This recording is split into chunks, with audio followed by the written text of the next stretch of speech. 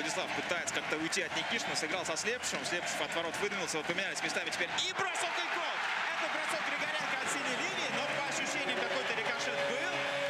Посмотрим. В любом случае шайбу в воротах за 21 секунду до конца периода. ЦСКА сбивает вторую и реализует большинство первой в этой серии. Искали различные варианты хоккеисты ЦСКА. И в итоге Григоренко поднялся на синюю линию, бросил в касание и, скорее всего, там где-то был рикошет перед воротами Николаева. Давайте посмотрим на повторе. Так, вот, видите, вот бросок сходу.